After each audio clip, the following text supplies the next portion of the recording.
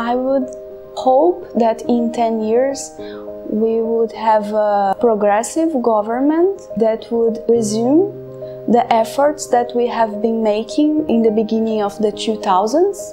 implementing policies to tackle inequality rates, which are very high in Brazil in terms of income and property and providing better public services for the whole population. I would insist on the provision of universal social services not only health and education but also transportation and housing. I would uh, suggest to take gender and race and social inequalities into consideration while implementing programs. And I would also suggest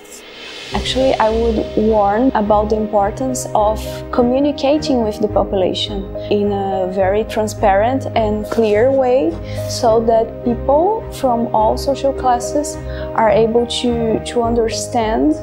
how the, the policies that are being implemented work and how they can improve their lives and the life of the collective. I think I would